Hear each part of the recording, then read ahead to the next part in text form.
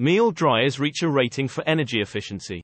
The latest generation Miele dryers are equipped with a heat pump overshoot the A+++ rating for energy efficiency by a margin of 10%. Whilst conventional condenser and vented dryers only achieve, at best, AB rating. Consequently, a highly efficient heat pump dryer from Miele cuts energy costs over a 10-year period by more than 1200 euro, compared with Miele condenser dryers without a heat pump.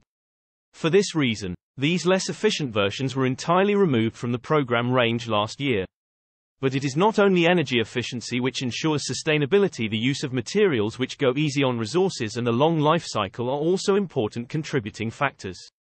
A significant contribution to this is made by the floor module, which was developed from scratch and whose plastic is enriched with nitrogen in an innovative manufacturing process.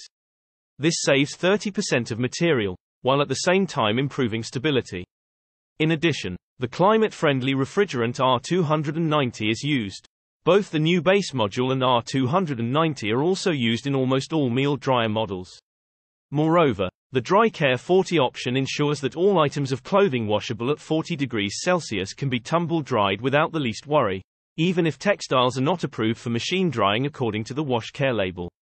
This is facilitated by reducing the air temperature during the drying process to ensure that delicate fabrics are dried so gently that damage can reliably be ruled out.